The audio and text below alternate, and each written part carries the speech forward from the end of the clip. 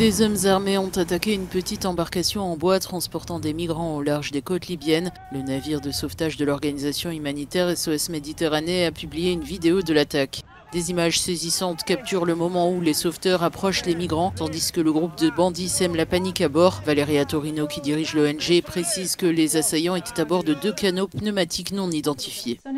Au cours de l'opération de sauvetage, deux bateaux non identifiés sont arrivés. Deux personnes armées au visage masqué sont montées à bord du bateau en bois, provoquant la panique parmi les migrants qui ont pris peur et se sont jetés à l'eau. Notre équipage les a rapidement secourus, mais l'un d'entre eux s'est effondré alors qu'il montait à bord de l'Ocean Viking.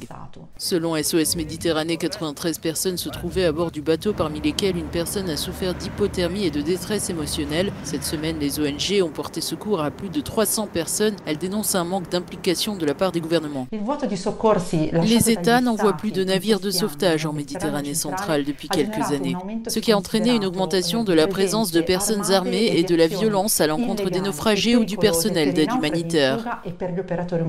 Les départs de migrants depuis l'Afrique se multiplie à la faveur de l'été qui offre de meilleures conditions de navigation. Mais la voie migratoire en Méditerranée centrale reste l'une des plus dangereuses au monde. Depuis le début de l'année 2024, 884 migrants sont morts en mer, dont 48 enfants, selon l'Organisation internationale pour les migrations des Nations Unies.